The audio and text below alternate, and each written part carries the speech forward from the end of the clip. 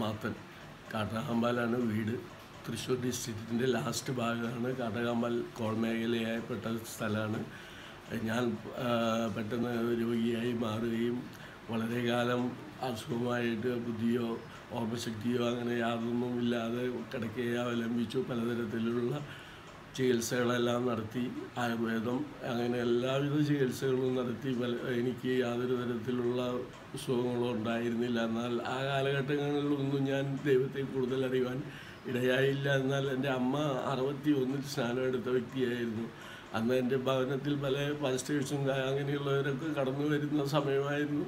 എന്നാൽ അവരുടെ ഞാൻ അത്ര തന്നെ യാതൊരു തരത്തിലുള്ള പ്രയാസങ്ങളും അവർക്ക് ഉണ്ടാ ഉണ്ടാക്കിയിരുന്നില്ല. എന്നാൽ സ്തോത്രം അവർ പറയുമ്പോൾ ഞാൻ സ്തോത്രം പറയാമെന്നുള്ള ഒരു രീതി എനിക്കുണ്ടായിരുന്നില്ല. അങ്ങനെ ഞാൻ വളരെ കാലം നടന്നു. അവസാനമാണ് ഈ രോഗം എന്നെ പിടിപെട്ടത്. യാതൊരു തരത്തിലുള്ള ഓർമ്മശക്തിയോ ബുദ്ധിശക്തിയോ ഒന്നും എനിക്കുണ്ടായിരുന്നില്ല. തൊട്ടതോ അറിയില്ല.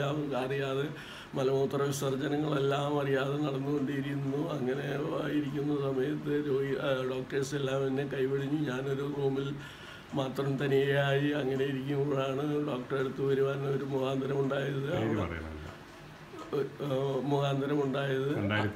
രണ്ടായിരത്തി എട്ടിൽ അവിടെ വരുവാനിടയായി. അങ്ങനെ ഡോക്ടറിനെ തന്നെ എന്നെ ഓപ്പറേഷന് വിധേയനാക്കി. വള ഏഹ് അവിടുന്ന് വളരെ പെട്ടെന്ന് ഞാൻ സൗഖ്യം പ്രാപിക്കുകയും എന്റെ ഓർമ്മശക്തിയും ബുദ്ധിശക്തിയും എല്ലാം തിരിച്ചു കിട്ടുകയും ഇപ്പോൾ രണ്ടായിരത്തി എട്ടിലാണ് അത് ഉണ്ടായത് ഇപ്പോൾ പത്ത് വർഷത്തിലും മേലെയായി ഞാൻ സ്വയമായിട്ട് വാഹനം ഓടിച്ചു പോവും.